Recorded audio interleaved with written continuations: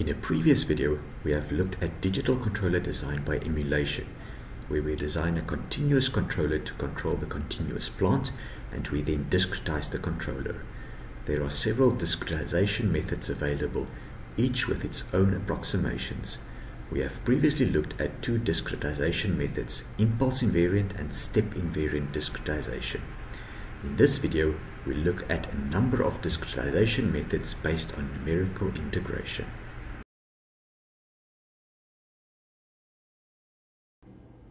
To recap, the discretization task is finding a discrete controller such that the combination of the sampler, the controller, and zero order hold circuit behaves similarly to the designed continuous controller.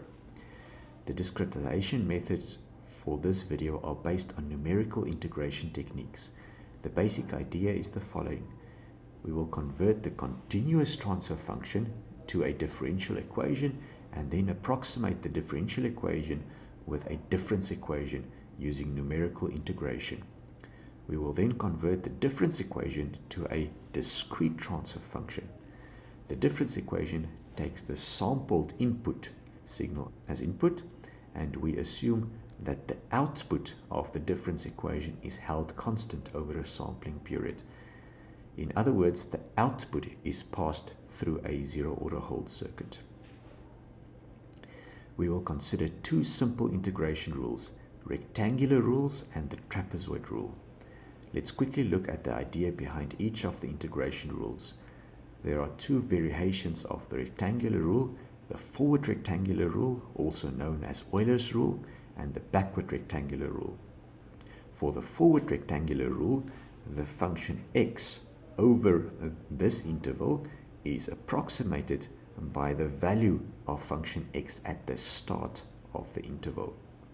The integral of function x over the interval is then approximated by the value of x at the start of the interval times the length of the interval. We can mathematically write down this approximation as the integral of function x over the interval, which we approximate by the value of function x at the start of the interval times the length of the interval. For the backward rectangular rule, the function x over the interval is approximated by the value of function x at the end of the interval. The integral can then be approximated by the value of function x at the end of the interval times the length of the interval. The trapezoid rule is slightly more sophisticated. The function x over the interval is approximated by the straight line between x at the start of the interval and x at the end of the interval. The integral can then be approximated as the length of the interval divided by 2 times x at the start of the interval plus x at the end of the interval. We will now use these numerical integration rules to approximate differential equations by difference equations. Let's first look at discretization with the forward rectangular rule. We will develop the discretization for an example and then simply state the general case. Suppose the transfer function of the designed continuous controller is given by 1 over s plus a, which is also the Laplace transform of the plant input signal over the Laplace transform of the error signal. We now multiply across and get this equation, after which we apply the inverse Laplace transform to find this differential equation. We want to approximate the differential equation with a difference equation. To do this, we integrate this equation over one sampling period from k minus 1 times t to kt. The left-hand side reduces to u at the end of the interval minus u at the start of the interval and we now use the forward rectangular rule to approximate the integral over the right hand side as the integrand at the start of the interval times the length of the interval.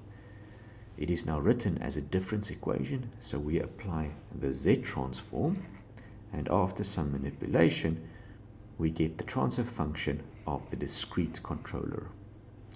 When we compare the continuous controller with the discrete controller, it is clear that we have replaced s with z minus 1 over t.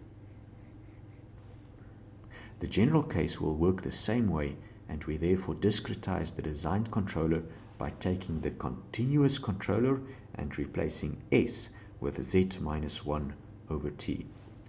The forward rectangular rule therefore defines a mapping from s to z given by s equal to z minus 1 over t. Let's step through the same example using the backward rectangular rule.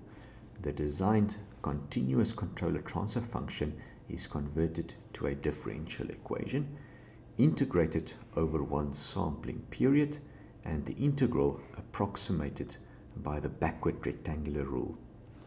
After applying the Z transform and some manipulation, we obtain the discrete controller transfer function where we have essentially replaced S with Z minus 1 over TZ.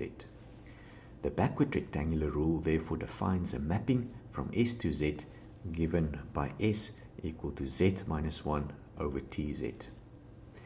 In the general case, we calculate the discrete controller by taking the designed continuous controller and replacing S with Z minus 1 over TZ.